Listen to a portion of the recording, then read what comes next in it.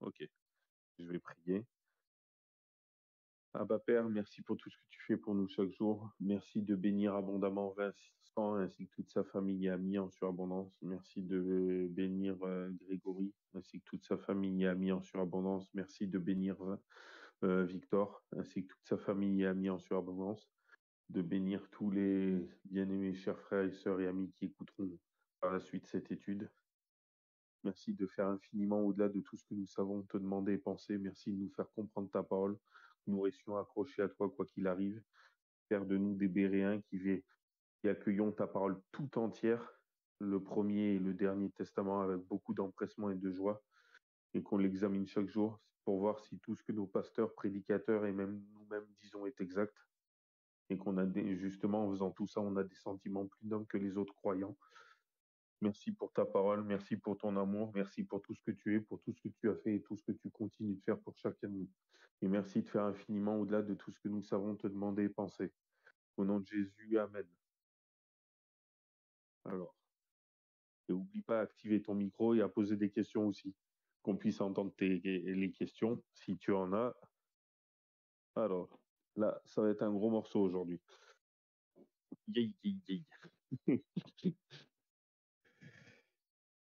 Ça va être riche en émotions pour changer. Alors, on avait, bon, je vais pas récapituler parce que sinon ça serait trop long. Mais là, c'est la quatrième partie, je crois, si je me trompe pas. Donc là, c'est toujours quels sont ces pièges. Donc d'abord, c'est de comment discerner et surtout éviter tout, entre parenthèses, les pièges du diable, de l'ennemi. Donc là, on en est à la partie quels sont ces pièges, mais bon, c'est en plusieurs parties, c'est tellement long, et, surtout euh, comment les éviter. Alors, comme on avait vu, ben, il faut éviter. Euh, donc déjà, on va y venir que on, dirait pas, mais le diable, malheureusement, il, euh, il nous a tous à la botte. Désolé de parler cru. Je voulais dire un autre, mot, mais comme quoi il a le, monde entier, euh, le monde entier à ses pieds. Le savoir, oui, désolé si je vous choque. Pourquoi je vous dis ça? Ben, c'est biblique. De Corinthiens 4, versets 3 à 7, que si notre évangile, donc évangile, ça veut dire bonne nouvelle, que si notre évangile est voilé, il est voilé pour ceux qui périssent, pour les incrédules, dont le Dieu de ce siècle, avec un petit D, hein, bien sûr, dont, dont, le Dieu de ce siècle a aveuglé l'esprit afin qu'il ne soit pas éclairé par la lumière du glorieux évangile de Christ, qui est l'image de Dieu. Car nous ne nous prêchons pas nous-mêmes, mais nous prêchons Jésus-Christ le Seigneur, et pour nous, nous sommes vos serviteurs à cause de Jésus. Car le Dieu qui a dit que la lumière resplendisse au milieu des ténèbres est celui qui a resplendi dans nos cœurs pour faire briller la lumière de la connaissance de la gloire de Dieu en la personne de Jésus-Christ. Or, nous avons ce trésor dans des vases de terre, afin que l'excellence de la puissance soit attribuée à Dieu et non pas à nous. Amen. Donc, vous imaginez, j'avais parlé vite fait de ce verset la dernière fois. Je ne sais plus si c'était la deuxième ou troisième partie. Mais là, donc, euh, Dieu a fait resplendir la lumière au milieu des ténèbres, au milieu de nos cœurs qui étaient ténèbres. Il a fait briller la lumière de la connaissance de la gloire, euh, de sa gloire en la personne de Jésus-Christ, en nous. Et parce qu'avant, on était aveuglés euh, comme les autres par le Dieu de ce siècle. Il nous avait aveuglé l'esprit afin qu'on ne soit pas éclairé par euh, la lumière de sa glorieuse bonne nouvelle de Christ qui est l'image de Dieu. Donc Dieu, il l'a fait pour, euh, pour nous, et donc faut qu'on prie pour qu'il le fasse aussi pour un maximum de nos contemporains, de nos familles, amis. Et ça, par contre, j'avais pas eu le temps de voir avec vous, c'est 2 Corinthiens, verset 10, à partir du verset 3 jusqu'au verset 6. Par contre, le verset 6, euh, Dieu, il a, enfin, tu me diras ce que tu en penses, Vincent. Euh, je trouve qu'il a le sens de l'humour, le verset 6. Mais je vais faire exprès de lire que le 3 à 5 pour le moment. Alors 2 Corinthiens 10, 3 à 5, et après le 6, un peu après. Car quoi que nous marchions dans la chair, nous ne combattrons point selon la chair. En effet, nos armes de guerre ne sont pas charnelles, mais elles sont puissantes en Dieu pour renverser les forteresses. pour détruire les raisonnements et toute, et toute hauteur qui s'élève contre la connaissance de Dieu, et pour ramener toute pensée captive à l'obéissance de Christ. Amen. Donc à la connaissance de Dieu, sachant que le mot connaître ou connaissance dans la Bible, ça veut dire relation très intime, très personnelle. Donc c'est comme s'il disait, pour détruire les raisonnements et toute hauteur qui s'élève contre la connaissance très intime, très personnelle de Dieu. Parce que justement, Jean 17, 3, Or la vie éternelle, c'est qu'ils te connaissent, toi le seul vrai Dieu, et celui que tu as envoyé Jésus-Christ. Donc, or la vie éternelle, c'est qu'ils ont une relation très personnelle, très intime avec toi, le seul vrai Dieu, et celui que tu as envoyé Jésus-Christ. Justement, le diable, il veut pas qu'on ait une relation très intime, très personnelle, qu'on connaisse bien Dieu, qu'on ait une euh, relation forte avec, et il fait tout pour, euh, bah, il nous aveugle l'esprit, euh, il fait des raisonnements très mauvais, il fausse tout, il dénature tout. Et donc justement, nos armes de guerre, c'est pour prier pour ça. Et le verset 6, où je trouve que Dieu, il a de l'humour, et nous sommes prêts à punir toute désobéissance lorsque, votre obéissance sera complète. Amen. Donc c'est comme si je vous disais, ben euh, voilà, euh, je, je te punis quand tu seras incapable de... Je te punirai toute désobéissance quand tu seras incapable de désobéir. Donc je trouve que c'était, enfin, je sais pas toi, mais je trouve que c'est un peu, il, a de l'humour là-dessus. Enfin, bon, euh, je sais, je sais pas, mais voilà. Ensuite, ensuite, euh, euh, est-ce que tu as des questions pour le moment? Je sais pas si on t'entendra, sinon, au pire. Non? Alors, Éphésiens nous dit, là, ça va être un gros morceau.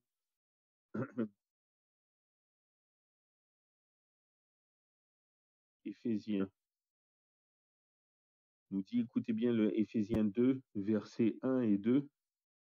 Et vous étiez morts dans vos fautes et dans vos péchés, dans lesquels vous avez marché autrefois selon le train de ce monde, selon le prince de la puissance de l'air, de cet esprit qui agit maintenant dans les fils de la rébellion. Comme quoi, on, on voit bien que le diable est à l'œuvre, malheureusement. Mais quelles sont ces armes? Dit dans 2 Corinthiens 10 Et après, on va y venir. Là, pour le moment, on n'a vu que des versets, mais on va y venir à toutes les supercheries du diable. Enfin, une partie, on n'aura pas le temps de finir là. Je n'aurais pas cru que ce soit si long. Et Éphésiens 6, versets 10 à 20, c'est l'armure spirituelle du croyant, du chrétien, ou toutes les armes spirituelles. Donc Éphésiens 6, verset 10, euh, oui, Éphésiens chapitre 6, verset 10 à 20. Au reste, mes frères, fortifiez-vous dans le Seigneur et par sa force toute puissance, toute puissante, pardon, revêtez-vous de toute l'armure de Dieu afin que vous puissiez tenir ferme contre les artifices du diable, car ce n'est pas contre la chair et le sang que nous avons à combattre, mais contre les principautés, contre les puissances, contre les princes des ténèbres de ce siècle, contre les puissances spirituelles de la méchanceté dans les lieux célestes.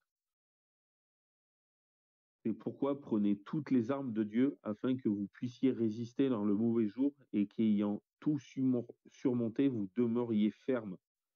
Soyez donc fermes, vos reins saints de la vérité, revêtus de la cuirasse de la justice. Donc c'est comme s'il disait euh, vos reins saints de Jésus, vu qu'il est le chemin, la vérité et la vie. Donc faut qu'on ait comme euh, Jésus comme ceinture, quoi. Revêtus de la cuirasse de la justice, les pieds chaussés du zèle de l'évangile de la paix, donc les pieds chaussés du zèle de la bonne nouvelle de la paix, vu qu'évangile, ça vient de évangélion qui veut dire la bonne nouvelle du salut. Enfin, la bonne nouvelle, c'est nous qui ajoutons du salut c'est ce qu'elle est. Prenant par-dessus tout le bouclier de la foi, donc foi ça veut dire aussi fidélité, et une foi vivante et non pas une foi morte, par le moyen duquel vous pourrez éteindre tous les traits enflammés du malin. Prenez aussi le casque du salut et l'épée de l'esprit, qui est la parole de Dieu. Priez donc euh, l'épée c'est la Bible, la parole de Dieu. Priez en tout temps par l'Esprit, par toutes sortes de prières et de supplications, et veillant à cela en toute persévérance et priant pour tous les saints. Quand il dit tous les saints, pas tous les saints qui sont au ciel, hein, c'est tous les, tous les croyants mis de côté. Apocalypse 14, 12, c'est ici la persévérance ou la patience ou l'endurance des saints qui gardent les commandements de Dieu et la foi de Jésus. C'est les hommes et femmes qui gardent les commandements de Dieu et la foi de Jésus. Les deux sont complémentaires et indissociables. C'est ça les saints. Et ceux qui sont à part. D'ailleurs, euh, saint, ça veut dire euh, mis à part, être à part. Être à part parce qu'ils observent les commandements de Dieu et la foi de Jésus. Malheureusement, là, sur cette terre, ben, il y en a, ils ont les commandements de Dieu, mais ils n'ont pas la foi de Jésus. Et il y en a, ils ont la foi de Jésus, mais sans les commandements de Dieu. Parce que Jacques 2, verset 10 nous dit, quiconque observe toute la loi, mais pêche contre un seul commandement, devient coupable de tous. Donc 10 moins 1 est égal à 0. C'est-à-dire, si on en observe 9, si on observe et qu'on met en pratique que 9 commandements sur les 10, ben, c'est comme si on n'en pratiquait aucun, c'est comme si on les transgressait tous.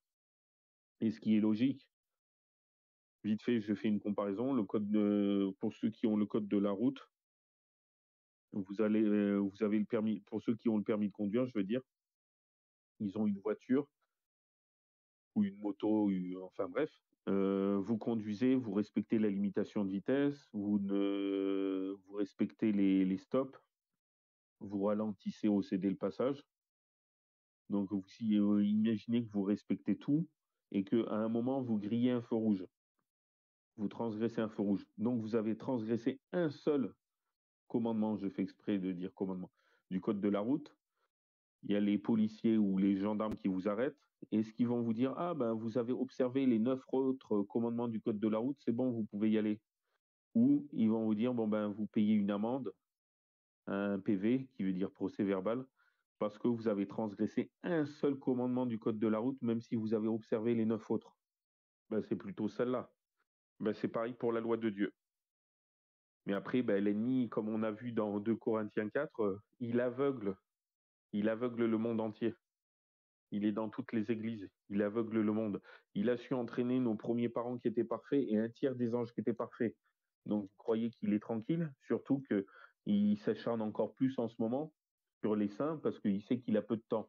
Donc euh, ceux qui sont dans le monde, ils sont encore plus. Euh, donc il a su aveugler des, êtres célestes parfaits. Et là, vous croyez qu'il va laisser tranquille euh, toutes les églises? Non, il nous a tous à sa botte, malheureusement.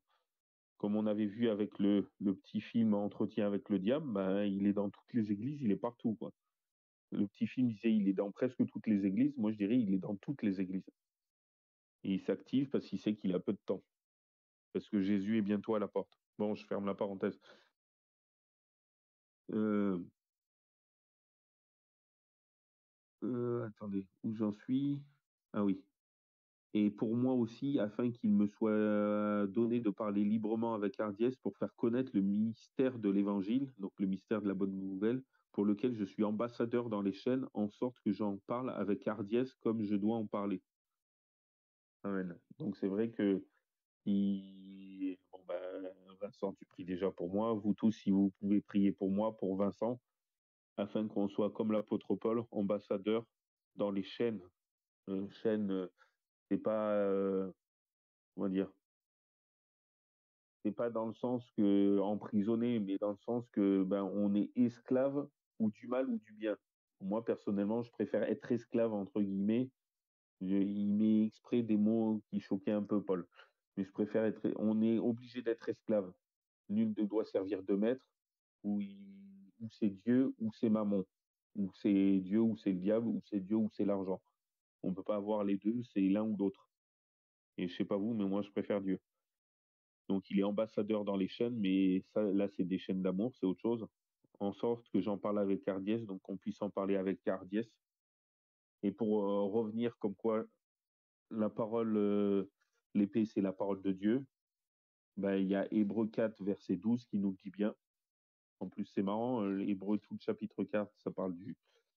Bon, je ne vais pas venir sur le sujet, mais ça parle de la participation au repos de Dieu.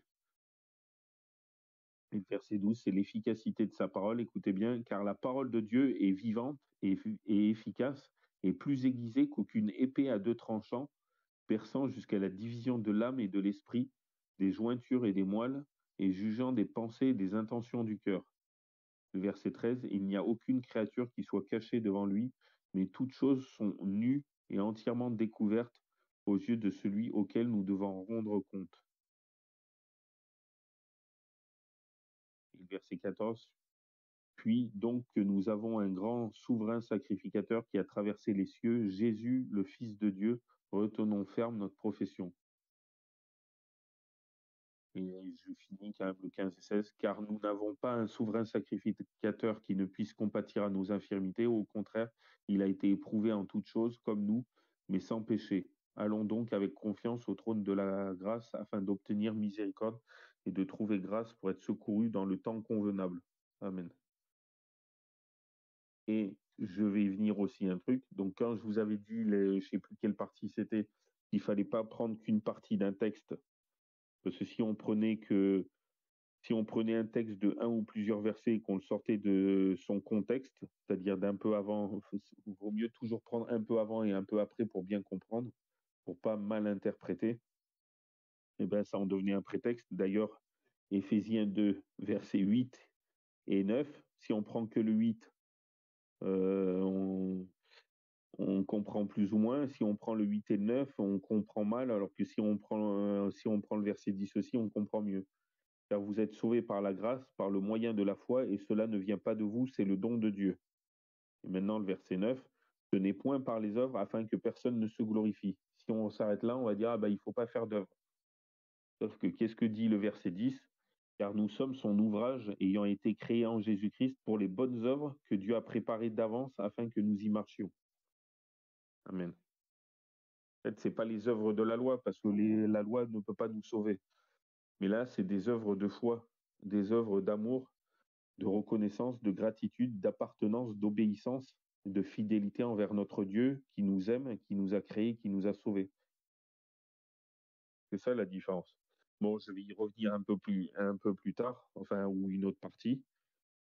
Il ne faut rien ajouter à la parole de Dieu, il ne faut rien retrancher ou enlever à la parole de Dieu. Et là, je vais vous lire quelques textes pour que ce soit bien clair. Donc, quand l'ennemi veut nous dire, ah ben, euh, ben, quand il veut nous faire rajouter des choses ou en, ou en tête ou,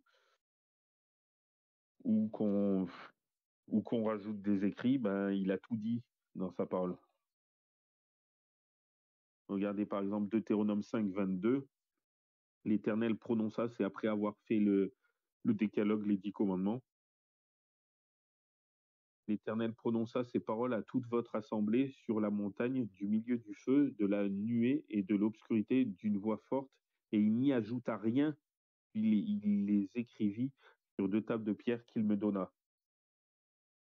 Ça parle des dix commandements du décalogue qui sont un peu moins connus, qui sont dans Deutéronome 5, verset euh, versets 5, 6 jusqu'au 21. Et le 22, et écoutez bien le 29 quand même. Oh, Deutéronome 5 toujours. Oh, s'ils avaient toujours ce même cœur pour me craindre et pour garder tous mes commandements. Tous mes commandements. Il n'est pas dit 8 sur 10 ou 9 sur 10, afin qu'ils fussent heureux et leurs enfants à jamais. Amen.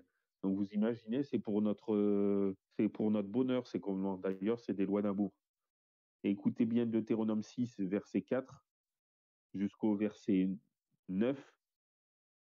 Écoute Israël, l'Éternel, notre Dieu, est le seul éternel.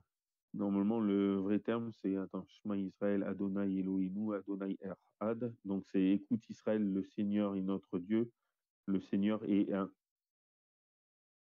Et verset 5, tu aimeras donc l'Éternel, ton Dieu, de tout ton cœur, de toute ton âme et de toute ta force.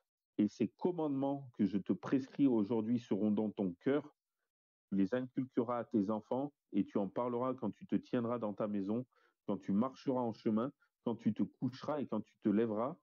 Et tu les liras, du verbe lier, comme un signe sur ta main et ils seront comme des frontons entre tes yeux. Donc c'est vraiment euh, un signe, un saut, quoi. C'est vraiment super important tu les écriras aussi sur les poteaux de ta maison et sur tes portes.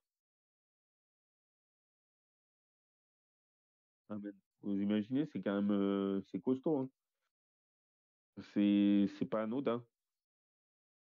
Bon bref, donc tu dois rien ajouter à sa parole. Donc je vais y venir. Donc regarde, hop, Deutéronome 4, verset 2 nous dit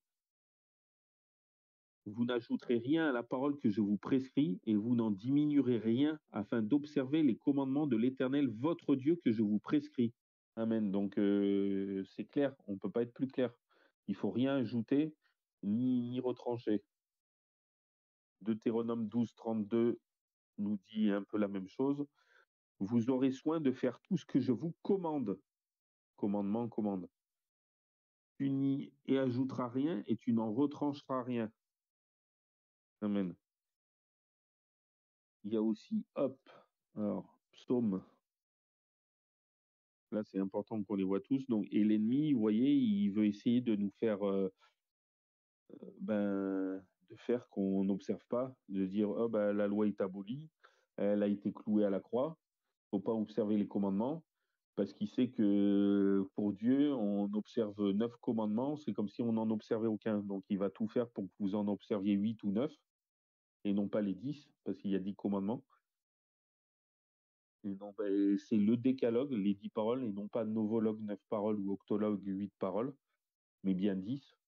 Et l'ennemi, ben, et comme il a entraîné nos premiers parents et un tiers des anges, ben, il entre, il, malheureusement, il entraîne euh, quasiment toute la chrétienté. Et même ceux qui observent les dix commandements, ils ont, il y a des choses qui sont pas bien. De toute façon, on est tous pécheurs, mais bon, bref, c'est encore un autre débat. De toute façon, on va y venir après sur la suite.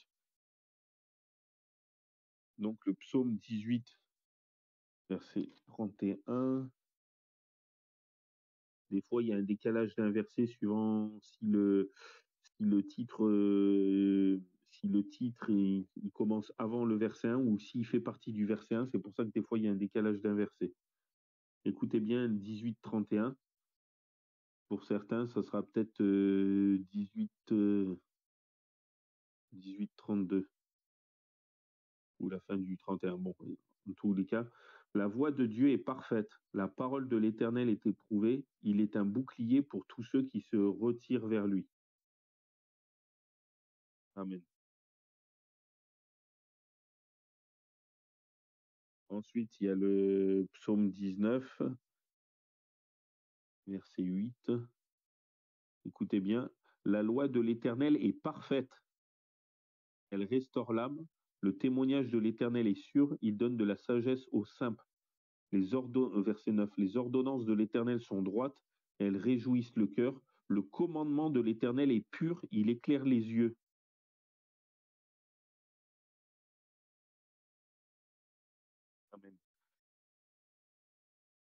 Bon, et là, écoutez bien le proverbe 30, verset 6. Là, il dit juste de rien ajouter et non pas de pas retrancher.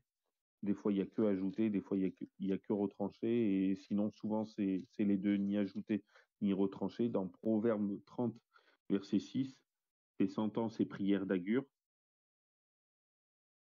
Alors, n'ajoute rien à ces paroles, de peur qu'ils ne te reprennent et que tu ne sois trouvé menteur.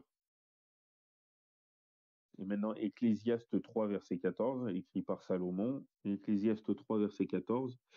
J'ai reconnu que tout ce que Dieu fait subsiste à toujours. Il n'y a rien à y ajouter, ni rien à en retrancher, et Dieu le fait afin qu'on le craigne. Craindre, dans le sens euh, de la Bible, pour Dieu, c'est positif. C'est-à-dire, c'est l'aimer, le respecter et le glorifier et l'honorer. C'est pas craindre, avoir peur de lui. C'est ça la crainte. Euh, craignez Dieu et donnez-lui gloire dans Apocalypse 14, verset 7. Et adorer celui qui a créé euh, la terre et les sources d'eau. La terre, la mer et les sources d'eau. Donc, il a adoré le Créateur. Donc, craignez Dieu et donnez-lui gloire, ça veut dire respectez-le, honorez-le et donnez-lui gloire, donnez-lui la première place dans votre vie. quoi. Donnez-lui du poids. Donnez-lui gloire en grec ou en hébreu, ça veut dire euh, donnez-lui du poids c'est-à-dire qu'il soit le premier dans nos vies, et non pas le dernier ou deuxième, ou premier ex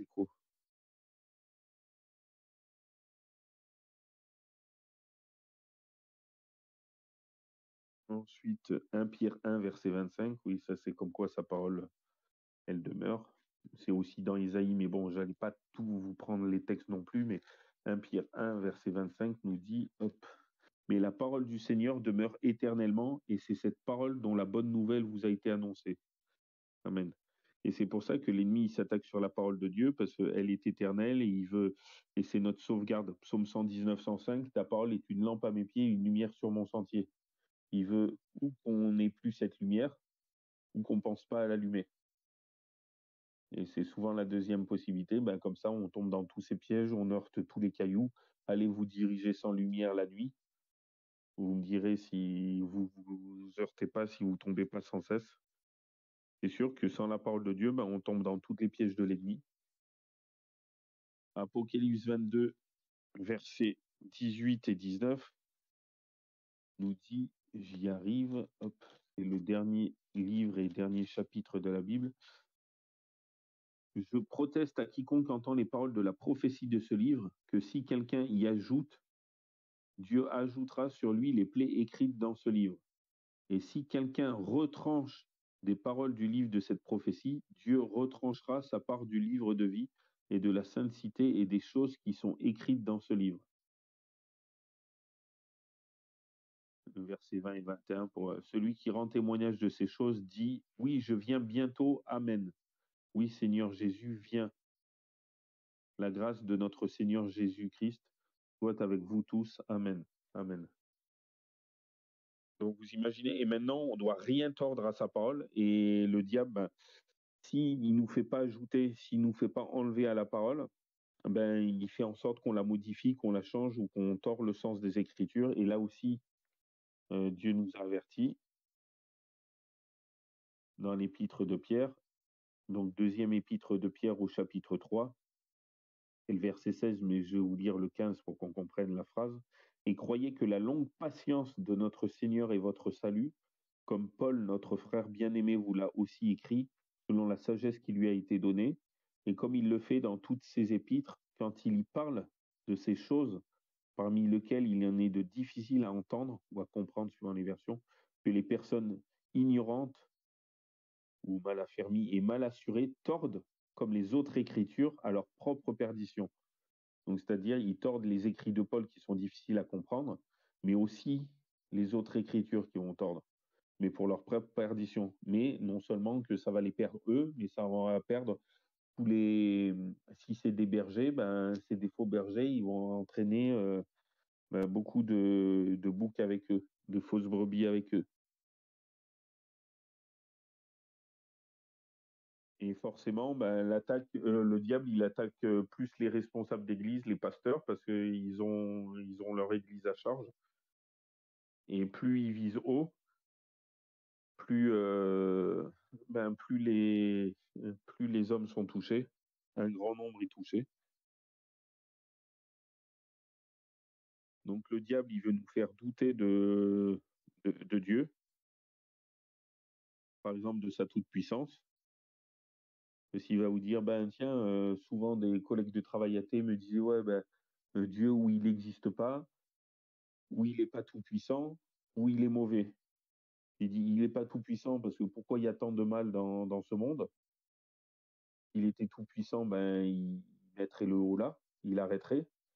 Ou sinon, ils vont nous dire, ben, euh, ou sinon, il est tout puissant, mais il est mauvais vu qu'il permet. Ben, c'est ni l'un ni l'autre. Et je vais le prouver oui, vous allez me dire en verset biblique. Mais après, ben, Dieu il permet des choses que nous on comprend pas. Regardez tout ce qui est arrivé à Job aussi. Mais déjà, je vais vous parler en, avec la Bible. C'est ce que je connais le mieux. J'arrive mieux à interpréter la Bible avec la Bible. Quand on me demande mon ressenti, j'ai du mal à. Souvent, quand on me demande mon ressenti, je sors des versets bibliques. Alors écoutez bien le psaume 119 au verset 90.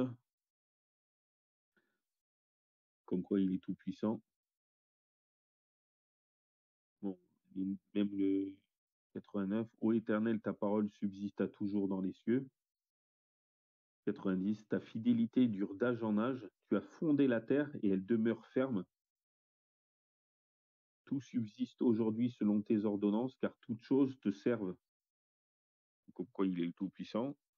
Bon, il n'y a pas que ça, il y a aussi Ésaïe 45, 12. Ésaïe 45, 12, écoutez bien. Hop, hop, hop.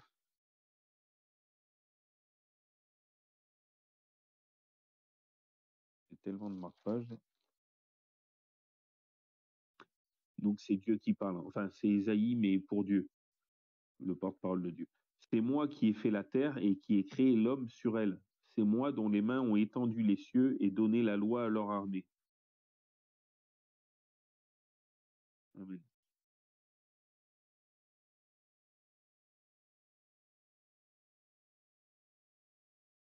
Douter de Dieu comme quoi il n'est pas bon, ben, euh, toujours dans Isaïe, mais au chapitre 54, au verset 5.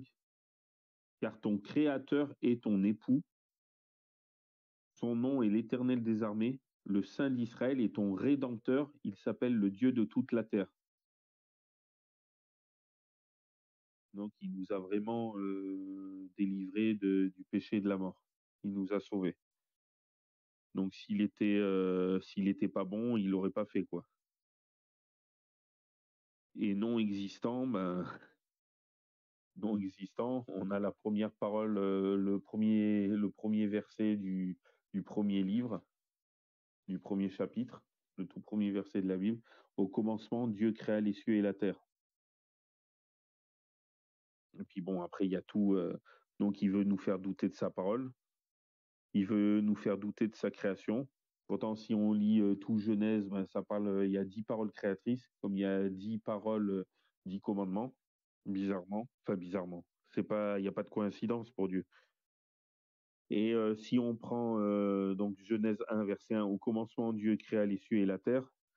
Si on prend le psaume 33, comme quoi il nous fait douter aussi de, de la création, il veut nous faire douter. Il y a plein de croyants qui pensent qu'ils sont issus de, de l'évolution. C'est-à-dire que, euh, et je vais vous choquer, pardon à l'avance, mais je préfère plaire à Dieu que, que aux hommes.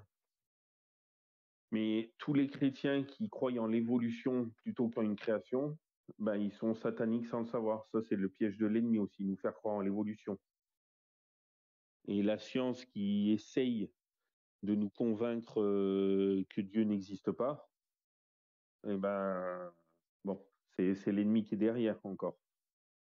Maintenant, euh, mais même comme quoi l'ennemi est subtil, vous, avez sûrement tous entendu parler, mais j'ai pas tout fini de lire parce que c'est. Mais bon, euh, ça sera pas, ça sera trop long si j'en parle. Mais le livre euh, Dieu, la science, l'épreuve, l'aube d'une révolution, on me l'a offert ce livre. Euh, bah même là-dedans, euh, on voit que le diable est parce que c'est écrit par des scientifiques et par un théologien, mais le théologien, des fois, il doute, enfin, il n'est pas clair sur, sur la création. Par exemple, ah, Dieu a-t-il vraiment créé le, monde en six jours? Donc, dès l'instant qu'on doute, ben, moi, j'aurais envie de dire, désolé si je surprends, mais j'aurais envie de dire, ben, donne-moi ton diplôme de théologie, je saurais quoi en faire, moi. Et toi, va, va jouer aux billes ou va faire autre chose. Si tu doutes de la parole de Dieu, ben, c'est pas théologien, parce que théologien, ça vient de théos qui veut dire Dieu, et logis étudiant, étude. Donc tu étudies Dieu. Donc si tu crois pas en sa parole, c'est que t'es pas du tout un bon théologien. C'est comme si vous disiez à un gamer qui joue pas aux jeux vidéo, ou tiens, on va faire une étude biblique sans Bible. Un chrétien, euh, je lis pas la Bible, j'étudie pas la Bible. Comme si vous disiez un chasseur, il va chasser sans son fusil ou sans son chien, ou comme ça, ni fusil ni chien. Un pêcheur euh, sans canne à pêche non plus. Ouais, je pense pas qu'il va prendre du. Donc ça me fait rire. euh, je suis chrétien mais non pratiquant. Ouais, mais ça c'est l'ennemi quoi qui est derrière. Puis je les comprends d'une sorte, c'est ce que j'étais il y a 12 ans. Ça aussi c'est l'ennemi parce que un chrétien non pratiquant, c'est comme si ça me fait rire. Pourtant c'est courant. hein. Je suis juif mais non pratiquant ou je suis musulman mais non pratiquant, chrétien non pratiquant, catholique non pratiquant ou ou protestant non pratiquant. Ben, si vous allez, si vous êtes malade, vous allez chez le docteur. Si vous voyez, je suis médecin mais non pratiquant. J'ai le diplôme de médecine, mais je ne pratique pas. Vous n'aurez pas envie d'aller chez lui vous faire soigner. Un chrétien non pratiquant, euh, comme disent les jeunes, c'est pas ouf. Mais bon, ça c'est l'ennemi. Ça me fait rire, chrétien non pratiquant. C'est comme, euh, Bon, bref, je vais m'arrêter là. Mais certains jeunes qui disent, ouais, euh, je crois en Dieu, puis ils croient plus en l'évolution que la création, et puis euh, ils disent, ouais, mais ça c'est faux, ça c'est faux, ça ça peut pas être vrai. Je dis, non, non, je m'excuse, t'es pas un croyant, t'es es athée, quoi. Pour moi, t'es athée. Euh, c'est, euh, tu essayes de faire croire que t'es croyant, mais c'est comme celui qui est marié qui, euh, qui dit il est marié, mais il court à droite à gauche, celui ou celle. Ben non, il agit comme quelqu'un qui est, célibataire. Bon, bref, je ferme la, parenthèse. Donc, alors, il veut nous faire douter de tout ça. Je regarde aussi en même temps le temps pour couper en deux. Alors, il veut aussi, comment dire, il nous donne le découragement ou la dépression. Autant si on lit Jérémie 29, 11, qui dit que Dieu, il a des projets de paix et non de malheur, afin de nous donner un avenir et de l'espérance.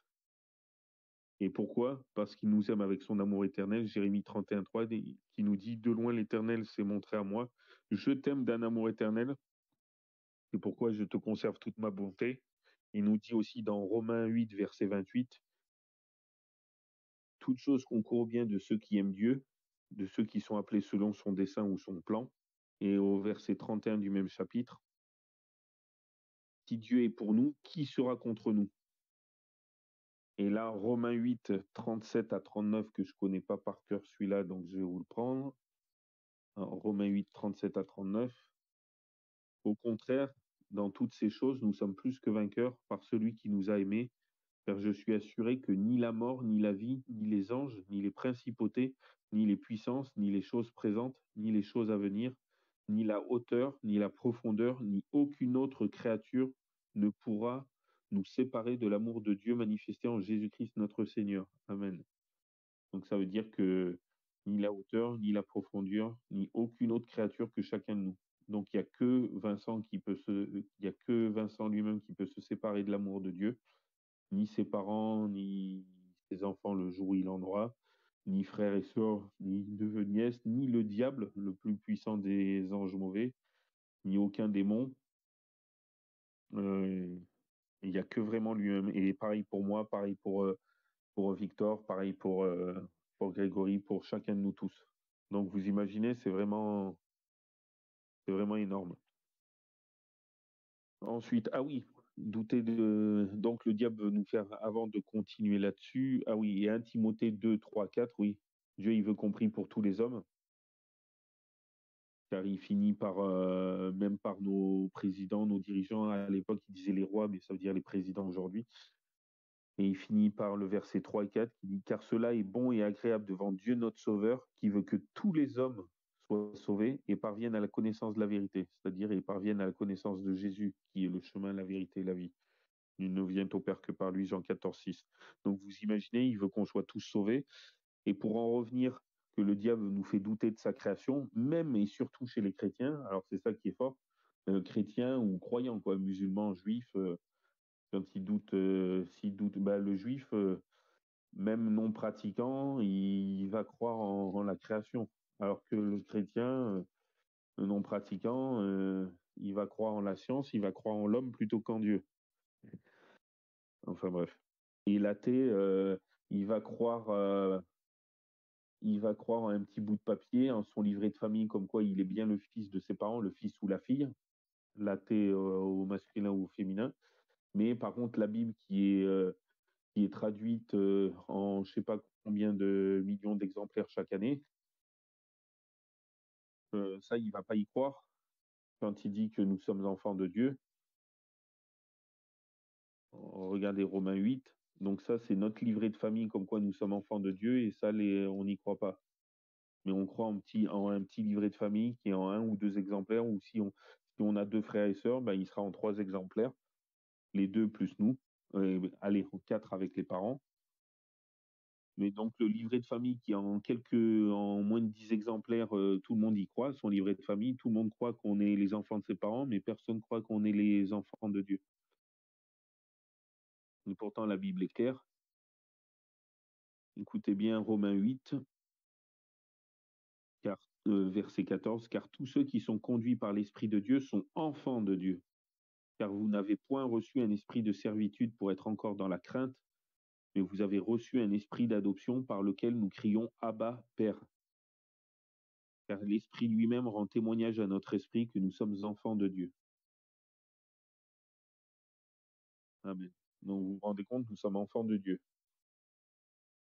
Mais ça, les gens veulent pas croire, alors que la Bible, elle est, ça fait des années qu'elle est traduite et, chaque année avec des millions d'exemplaires. Je ferme la parenthèse. Ensuite, euh, donc oui, pour en revenir à douter de sa création, bah, on a vu que Genèse, au commencement, Dieu créa les cieux et la terre. Alors, psaume, je vais finir juste vite fait là-dessus. Je regarde, ouais. Euh, psaume 33. Hop. Et après, on pourra arrêter l'enregistrement pour cette partie-là. Psaume 33, versets 6 et 9. Les cieux ont été faits par la parole de l'Éternel et toute leur armée par le souffle de sa bouche. Verset 9. Car il parle et la chose existe. Il commande et elle paraît. Amen. Ésaïe 45, 12, bon, ben, pas besoin de le relire. Jérémie qui disait comme quoi c'est lui qui a créé la terre et l'homme sur elle. Jérémie 32, 27. Je suis allé trop loin pour changer d'habitude. Pour changer de d'habitude, Jérémie 32, verset 27 nous dit Voici, je suis l'Éternel, le Dieu de toute chair. Y a-t-il rien qui me soit difficile? Amen. Et un dernier, c'est, enfin les deux derniers, Jean 1, verset 1 à 3. Alors, Jean 1, verset 1 à 3 nous dit au commencement envoyé, ça commence comme Genèse 1.1. Genèse 1 disait au commencement Dieu créa les cieux et la terre. Et là, au commencement était la parole. La parole était avec Dieu et la parole était Dieu. Elle était au commencement avec Dieu. Toutes choses ont été faites par elle et rien de ce qui a été fait n'a été fait sans elle. Amen. Et le dernier, Apocalypse 14, verset 7, nous dit, Je vais vous lire 6 pour comprendre. Et je vis un autre ange qui volait au milieu du ciel, portant l'évangile, donc la bonne nouvelle, éternelle, pour l'annoncer à ceux qui habitent sur toute la terre, à toute nation, toute tribu, toute langue et tout peuple, en disant d'une voix forte, verset 7, Régnez Dieu et donnez-lui gloire, car l'heure de son jugement est venue, et adorez celui qui a fait le ciel, la terre, la mer et les sources des eaux. Amen. Donc adorez le Créateur. Et là, je vais prier. Abba Père, merci pour tout ce que tu fais pour nous chaque jour. Merci de nous faire comprendre ta parole. Et merci de, euh, de, de nous inviter, de nous faire tomber dans tous les pièges de l'ennemi. Merci de faire infiniment au-delà de tout ce que nous savons te demander et penser. Au nom de Jésus, Amen.